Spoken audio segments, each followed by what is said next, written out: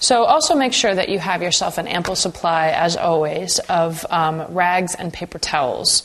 Um, when you're working with the messy business of adhesives, you always want to be able to have um, something available that's clean and dry um, in order for you to wipe off. You're tending to use your fingers a lot. Um, you'll see as I go on um, further. But I always like to have a nice uh, cleaner towel that I tend to use. And then I prefer the shop towels, mostly because when you're using any sort of standard standard kitchen towels, um, they tend to break apart, fall apart, and actually get stuck to your fingers as you're trying to wipe off adhesives. Uh, these are more like a fabric.